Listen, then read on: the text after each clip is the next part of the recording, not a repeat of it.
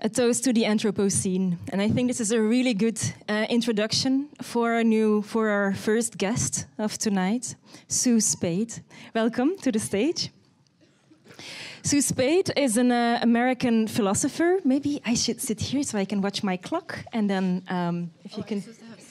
Yes, I think so. Yeah, but okay. or we can stand maybe as well. Yeah, because uh, you will. Yeah, we I can will, stand. Yeah, because I will lead you to the. Um, I will leave the stage in a bit.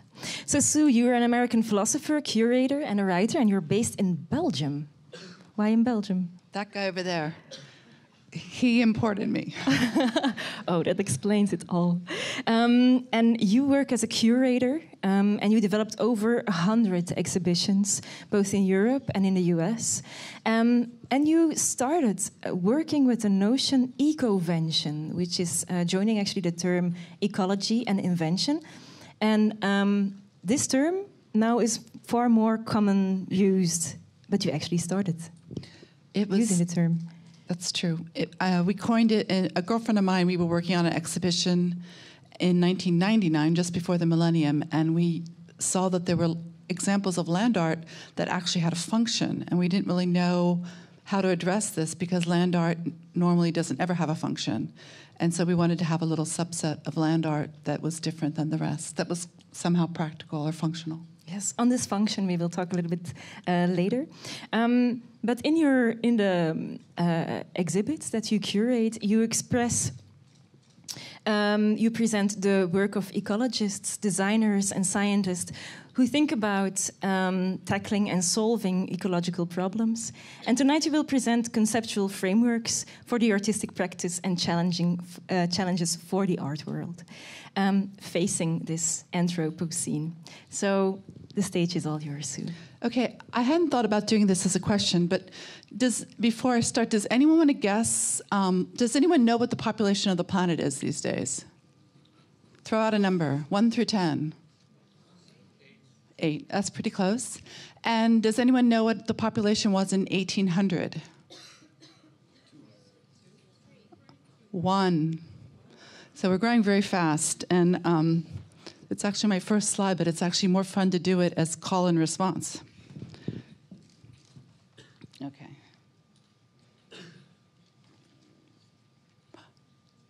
Okay, so I wanted to look at the population um, just very for one sec because I think that you know the word anthropo is man, is humankind, human beings, right?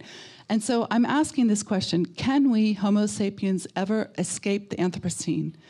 And this question has many different, it can be understood in many different ways. Um, one is Will we solve the Anthropocene? Will we, will we, you know, one of the ways you might escape it is if you if we get climate change under control and it no longer is risking to increase um, two degrees Celsius. But the other one is population control. And I don't think we're ever going to go back to 1 billion. I mean, that's going to be really something catastrophic. And I just want to point out one point about the, um, the 2.5 and the 2.2. So basically, right now, each the average woman has 2.5 births per female. And we're going to slow that down a bit. And that's the trend is to go to 2.2. But even by reducing our population rate, we're still um, going to increase by 20%. But anyway, this is not a birth control talk. It's just something to think about when uh, you're thinking about the Anthropocene, because in fact, we are the anthro, we are the anthropo. Okay, so um, to, I'm a member of a group called Permanent Questions, and all we do is ask people questions. So I'm not going to ask an infinite number. I have six on my mind right now, and uh, in my talk, the first three I'm just going to go over really quickly in slide form, and the, I'm going to focus more on the last four. But okay, so why focus on the Anthropocene? And um, one of the questions that Katerina asked you is is the problem with the Anthropocene really capitalism?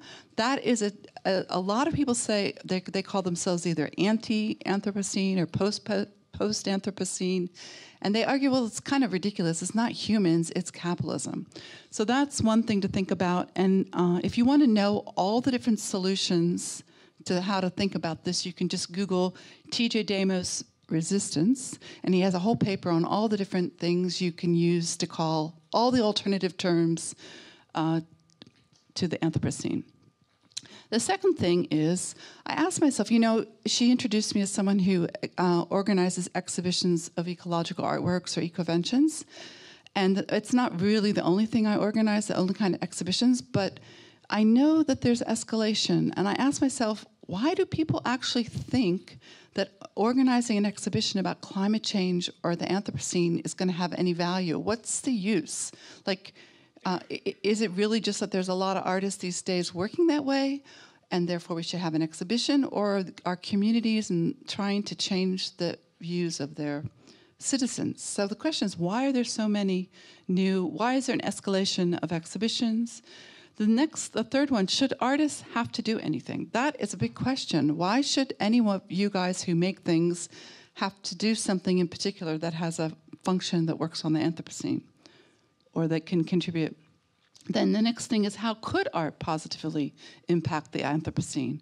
With that, I will talk about ecoventions. So, Katerina had told you that ecoventions, it's from ecology plus invention.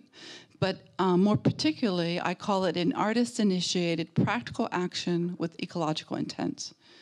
So, why do ecoventions work? What can we learn from eco artists? What is ecological intent? And how does green design differ from eco art? Can eco art exhibitions be exemplary of green design? So, those are the questions that, um, that seemed to be on my mind when I was invited to do this Anthropocene and artistic practices. So I don't expect anyone to read that. It's just a gauge. It's a chronology of exhibitions starting with 99, ending in 2017. And you can see there are more and more and more exhibitions on, the on ecological topics. So it's not something I'm making up. Uh, in the early millennial, there were you know, sort of a third as many. And 2017 looks short because I finished the book of in May of last year, and there probably were another 10 exhibitions. But anyway, just gives you a, a running tally. Uh, this is not anything I expect anyone to read. I'm just going to, I'm using this as an example. So here's this debate Should artists have to do anything? So you, it takes place, there's people there from Sweden, there's people there from England, there's people there from the States. A lot of people of France, uh, Nicola, if you guys have read Relational Aesthetics from Nicolas Bourriaud. Uh, so it's a, a bunch of people on the planet. A lot of them think that uh, that this is too much of a burden. Artists shouldn't have to do things. In fact, the biggest criticism of artists having to do things is that artists are usually having to do things that the government should be doing. So if the artists do it, then that kind of gets the government off the hook. Um, anyway, so you can see I'm pretty much implicated in this debate. I cannot, I cannot escape the millennial debate. I, I've been playing a role in it since the very beginning because I've been doing so many exhibitions about actions and artworks that do something.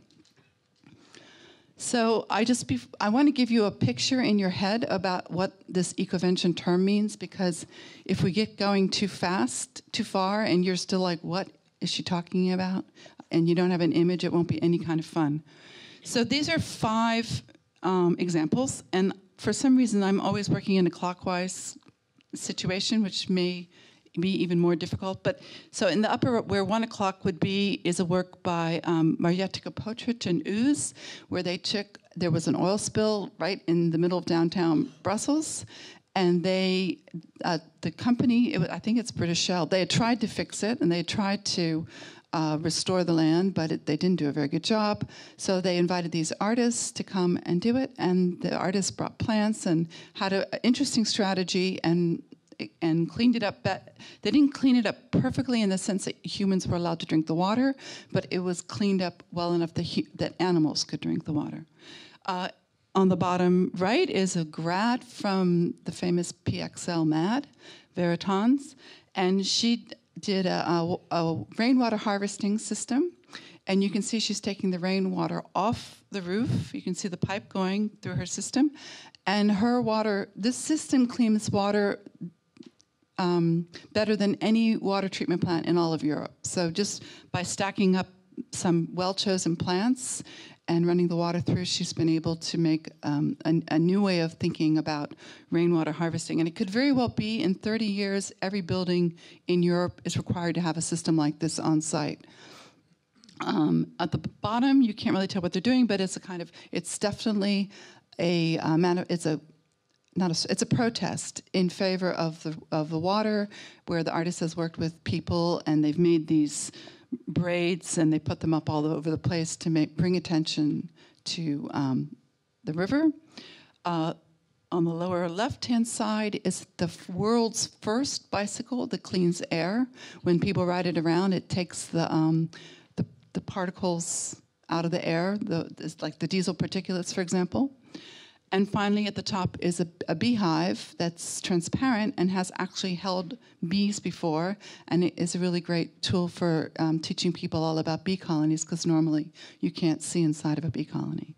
So those are five examples, and uh, all of them are Belgian except for uh, the bicycle. Well, no, the one at the bottom is Polish, and the one on the left is a, a Danish group, N55. Okay.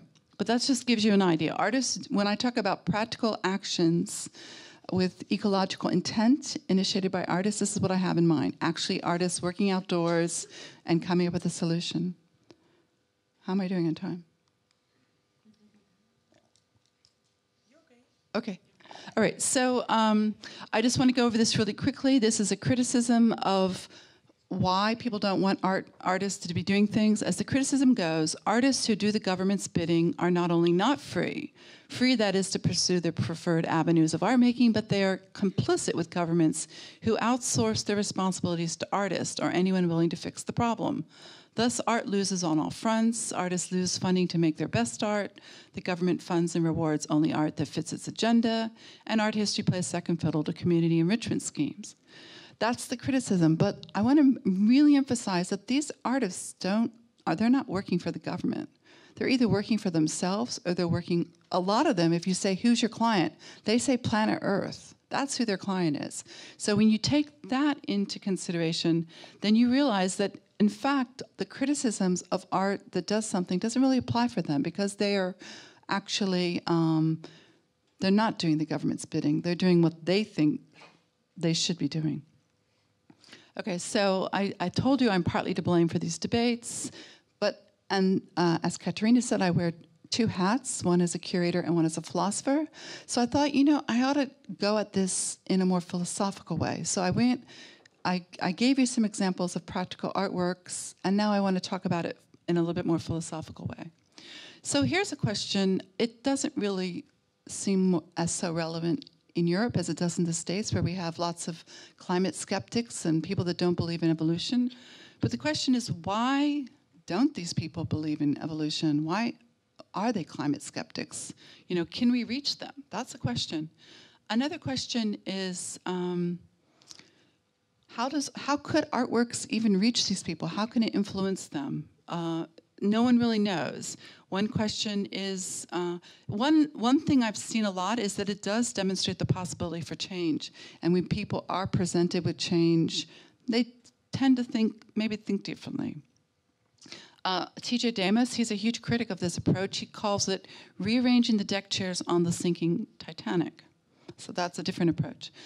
And then finally, this is to me the most difficult question: is when you're making I um, when you let's say you decide to make ecoventions and you decide to have Planet Earth as your client and you decide to to remedy a system in an innovative way, the question is beautiful for whom, why, and how. And that's I think one of the biggest questions that seems to be on Christoph's mind is that um, those people engineering the planet and trying to protect it doesn't seem to really have the planet's interest in mind. They seem to have humans' interest in mind.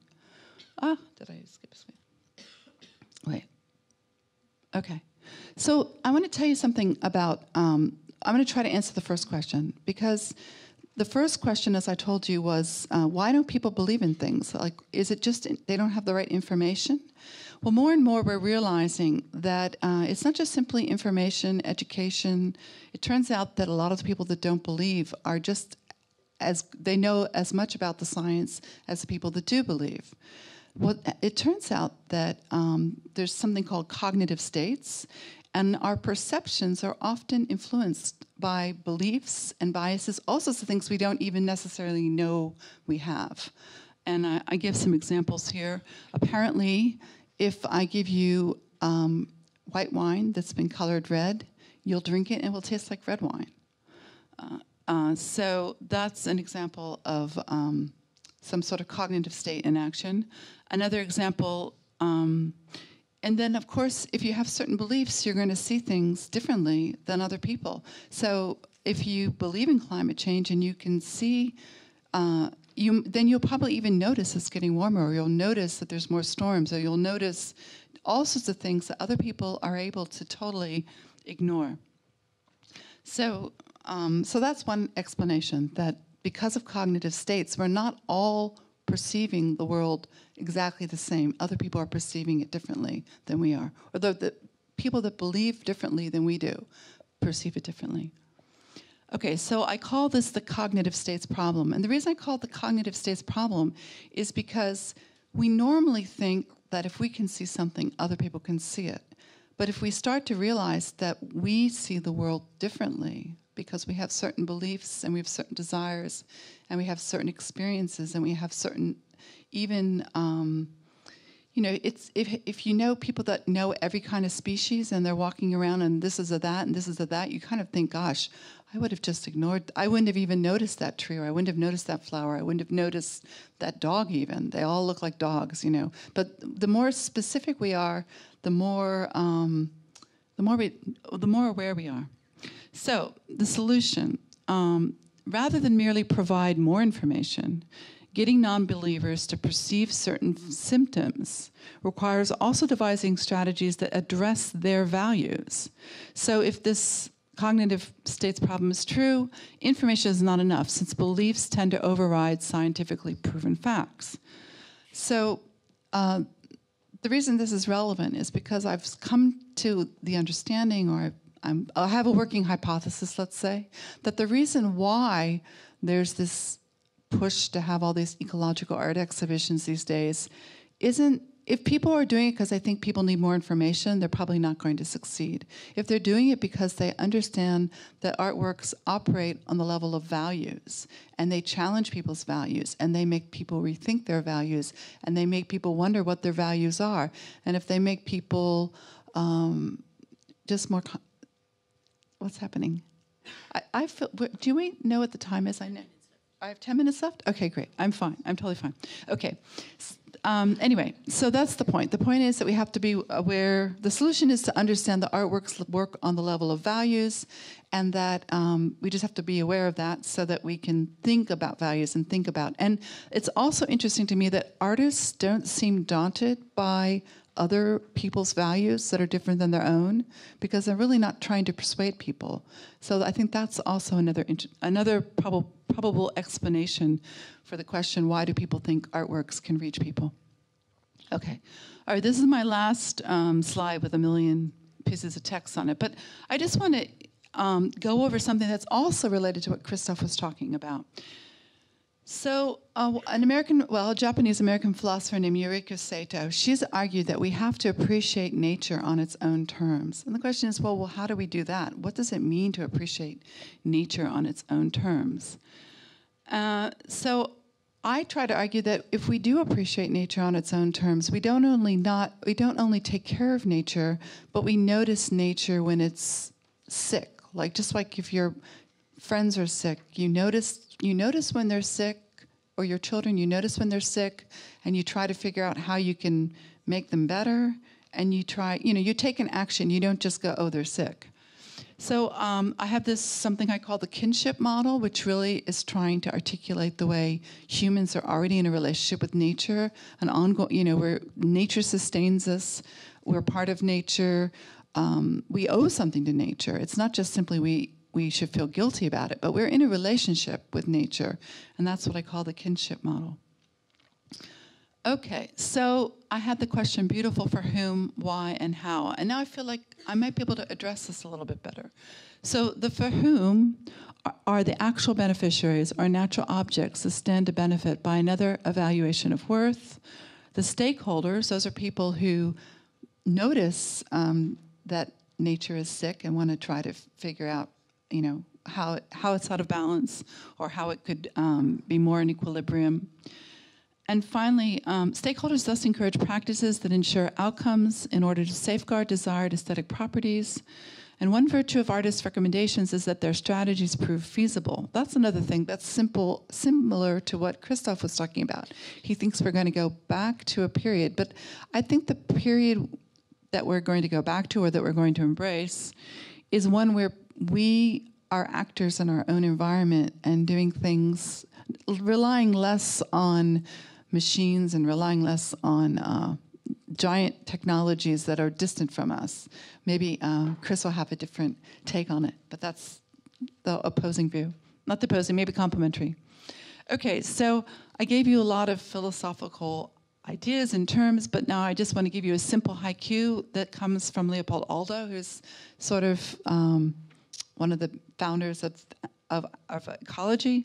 And he says, A thing is right when it tends to preserve the integrity, stability, and beauty of the biotic community. It is wrong when it tends otherwise.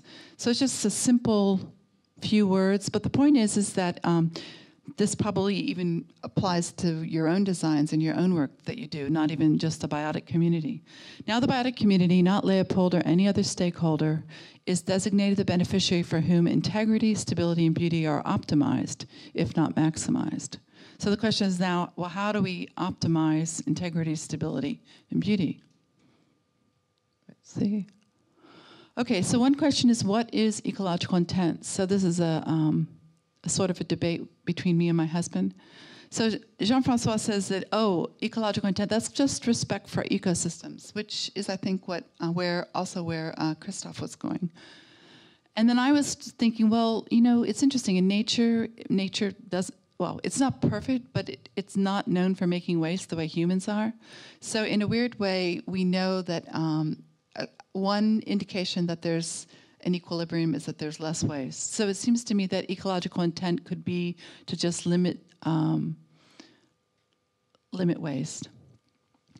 Okay, so uh, some ideas that are really simple ecological strategies, whether art or design, optimize procedures that minimize the extraction, transportation, and processing of raw materials, including rainwater and bananas redeploy all waste streams so there are none, reward regenerative agriculture, build natural infrastructure, and employ natural infiltration, maximize biodiversity.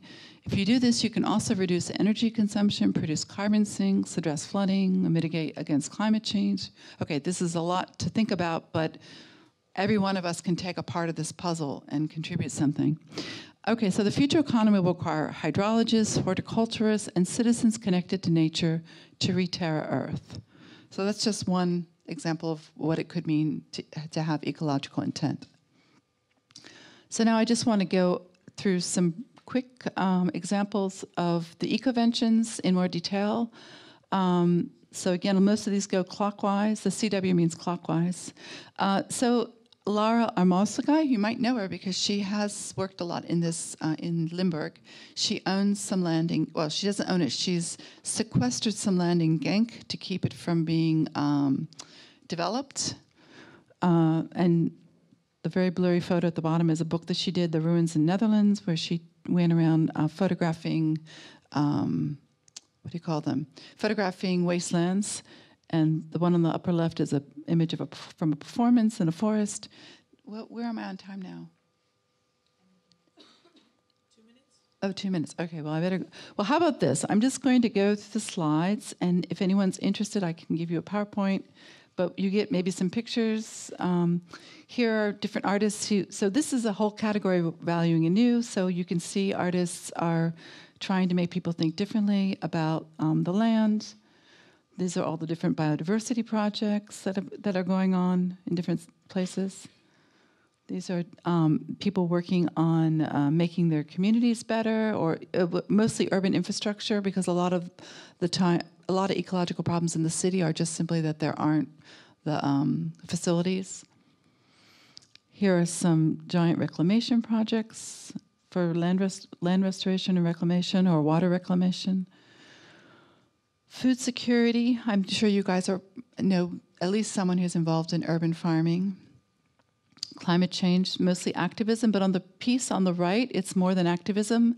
They were able to communicate, they were able to convince um, people in the Netherlands to take land that had been farming land and then turn it into a wetland again and make it have a lake. That's the, it's a before and after image.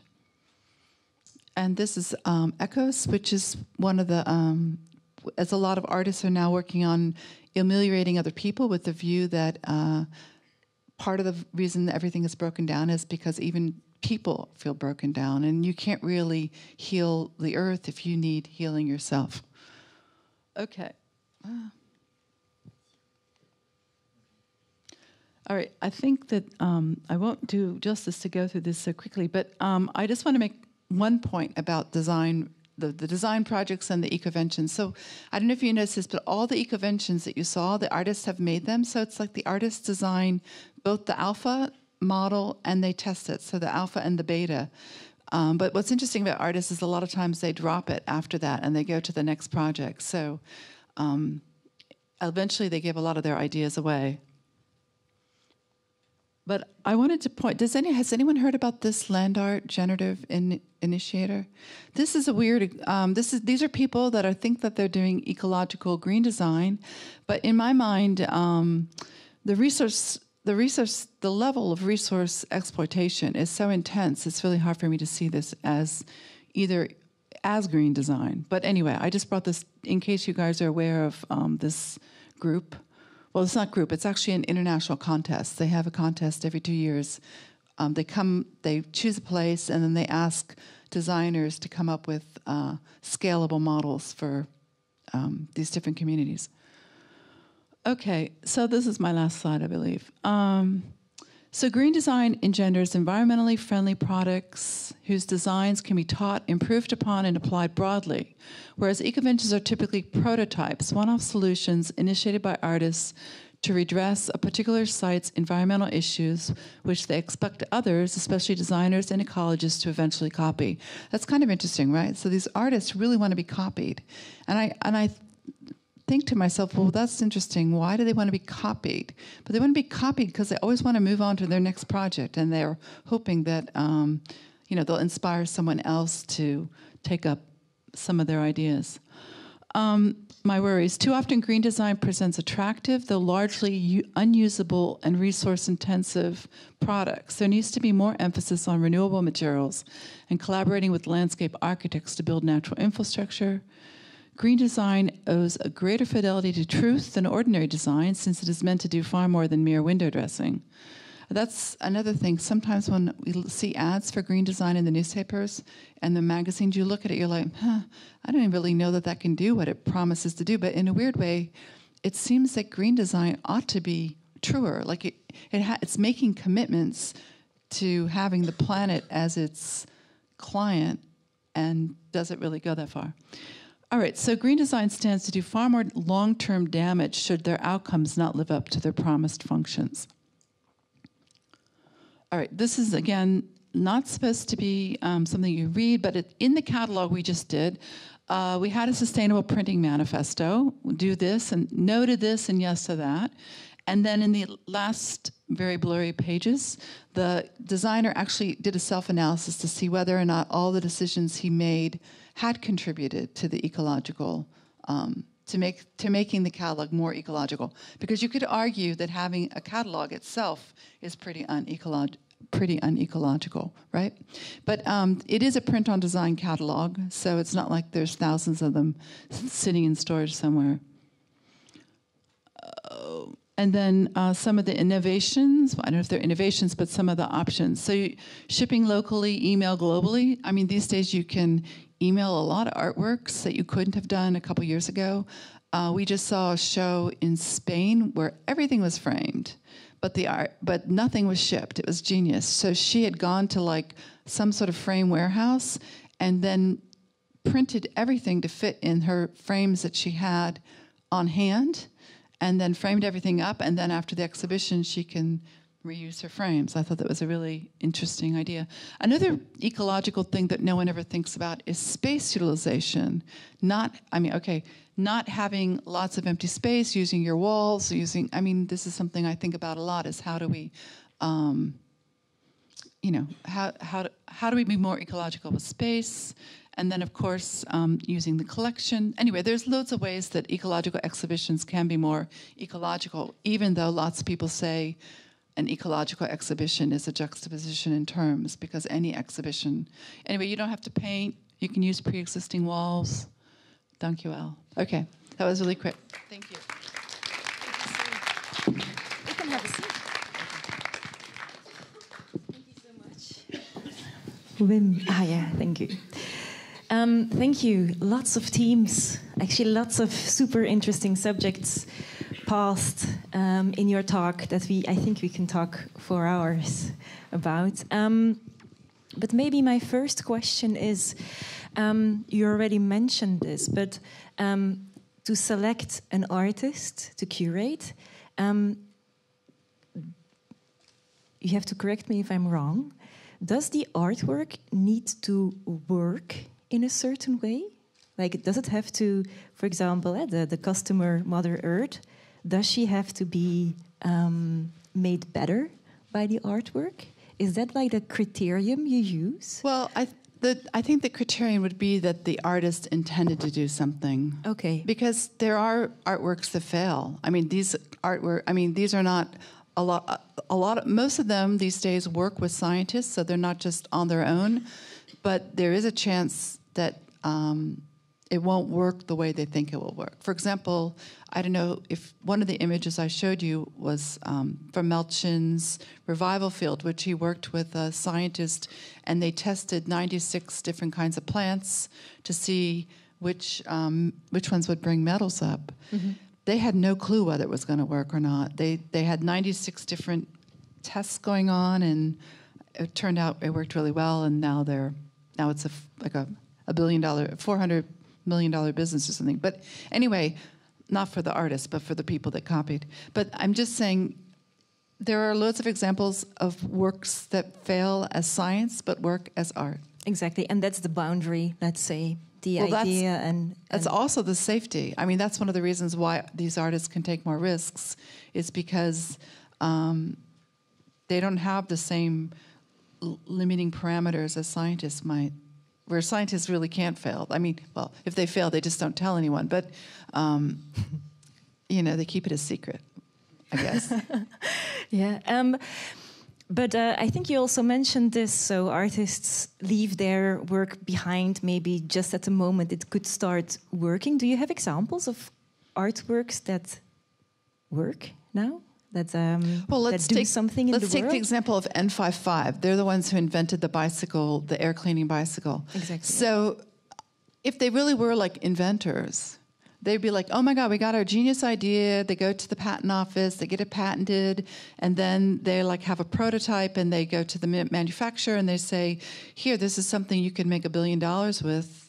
You know, design it, sell it, market it." But instead, they put all, if you know anything about N55, they put all of their designs on the internet. It's all uh, in the commons, and and they really want everyone around the world to make their designs. Just give them credit. You know, don't say I designed this, but say I built it.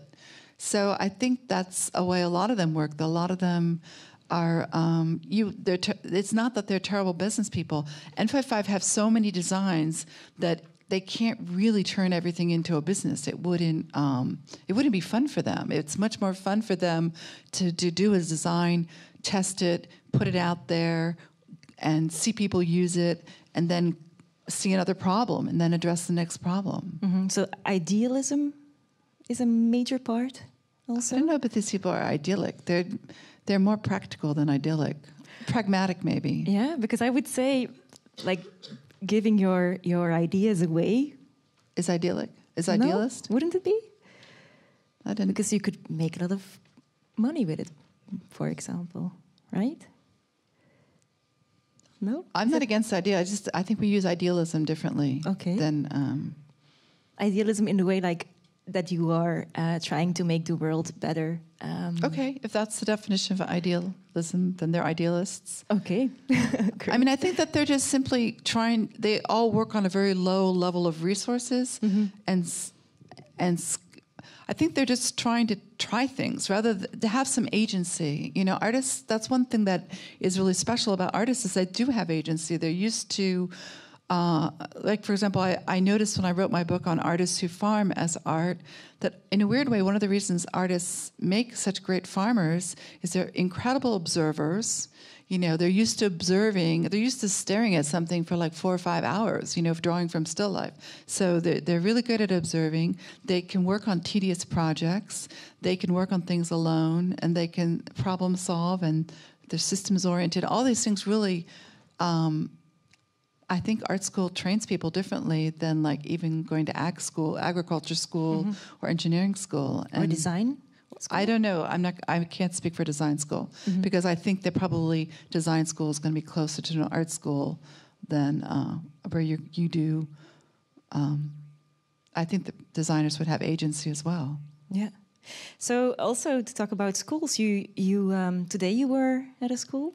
Yes, I spent the day at. Uh, PXL mad? Yeah. I don't know how to say it. That's how I say it. How do you say it? I wouldn't. No mad? okay.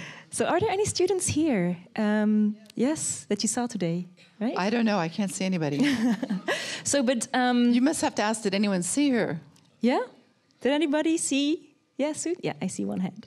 Um, but my question is actually, do you see that the young generation or the people you saw today are they interested in the Anthropocene?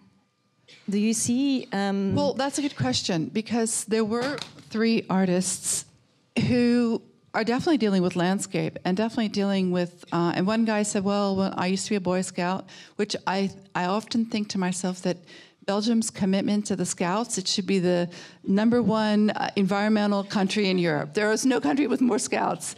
But strangely, I've never seen a correlation between the scouting. Like the people, be, as soon as they turn 18, they stop scouting and they stop thinking about it. But anyway, uh, so so I would love to be able to channel that energy somehow. Anyway, but so he talked about scouting and landscape, but he couldn't figure out. He never would admit that he was focus on the landscape. I don't know if that's because he didn't think he could. Uh, there were an- there was another one. So so uh, um, so the focus in nature is somehow impractical as well. You think? For is there like some kind of boundary that artists have to cross before they they um, use nature as their subject?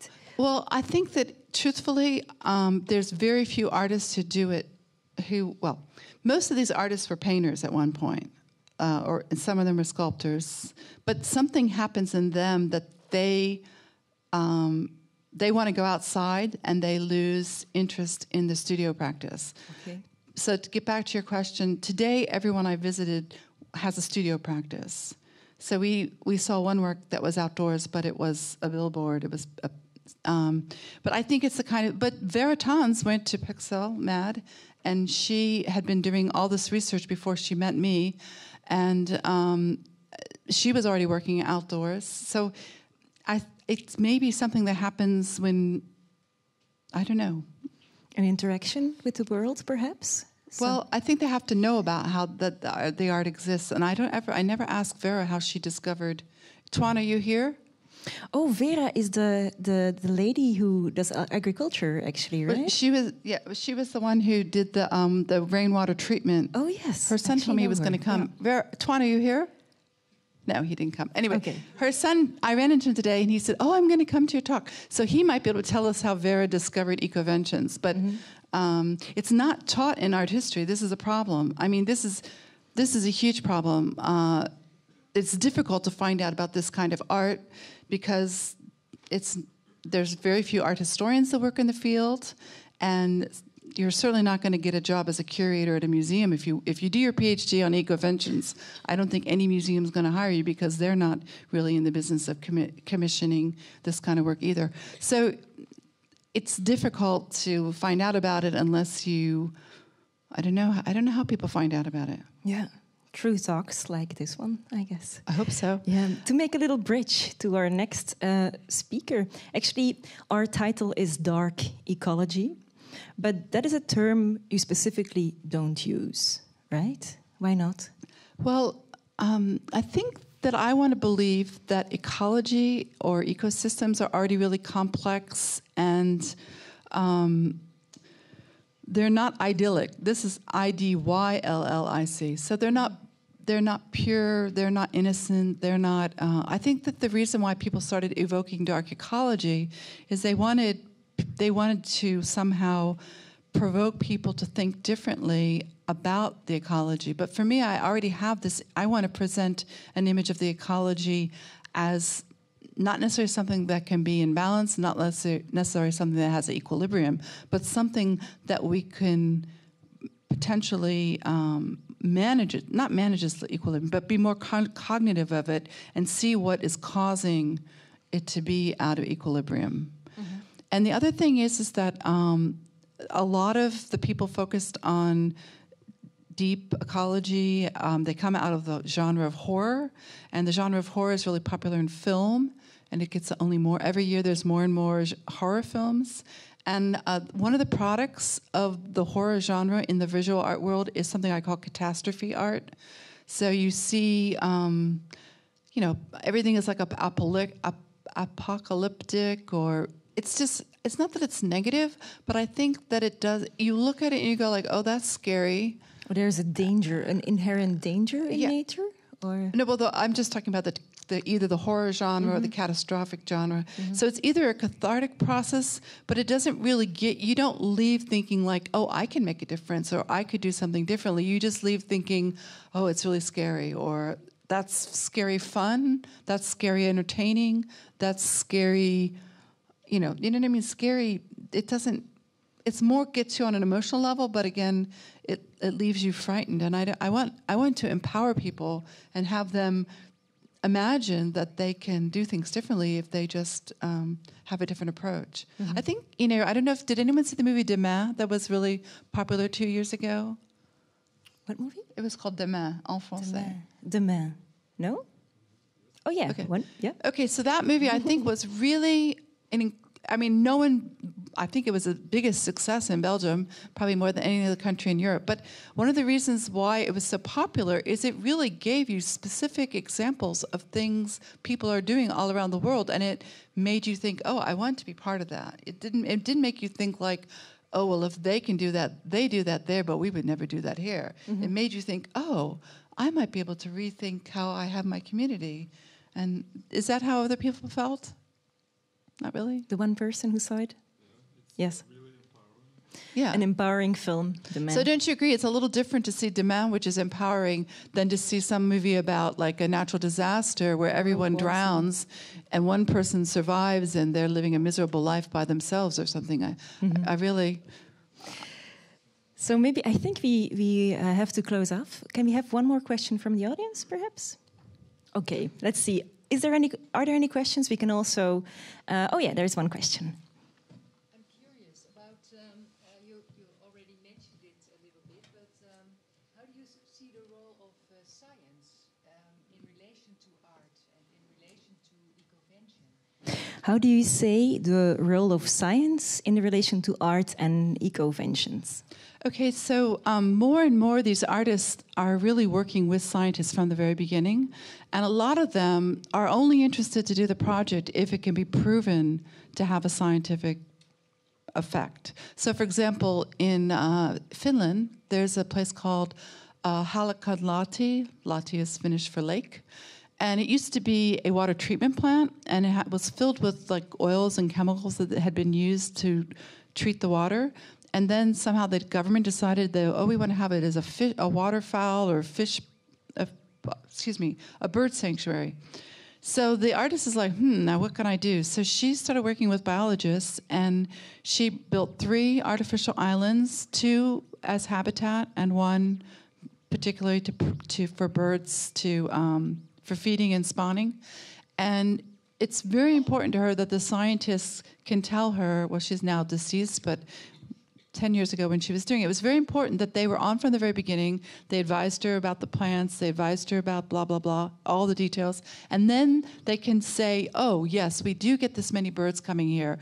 We do see a transformation of the landscape. We do see. So it's, a lot of these artists are really, uh, there was a, there's a meadow in Liverpool that was originally a blue flower meadow next to a yellow flower meadow. There were like two patches.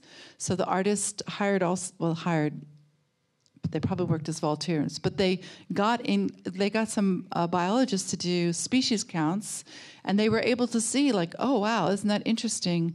These insects prefer yellow flowers, and these ones prefer blue flowers. But that kind of a test had never been done because no crazy person ever thought to make a blue meadow next to a yellow meadow. You know what I mean? That this is something an artist would think, oh, I want to have these two different square meadows and I want to see what, what it will do and how it will work. And it's the same thing a lot with the, um, the urban beekeeping. A lot of the urban beekeepers around the world, which is hugely popular, a lot of it is started by artists. And, um, and now the scientists are doing, are working their biodiversity studies around, they're very influenced by um, the beekeeping movements in the cities. So it's just it, the science plays a huge role partly because the artists want to be legitimate. They're not doing it for fun. They're doing it because they have a, an idea that they want to test and they want to test it proper they want to go about the um, experiment as, as, as best they can Um, I'm sorry. Maybe we can. Maybe we can. Sorry, I think we need to proceed uh, to our next uh, speaker. But I think we can talk for hours. So maybe you can uh, meet each other at the bar again. So Sue Spaid, thank you so much for this. Oop.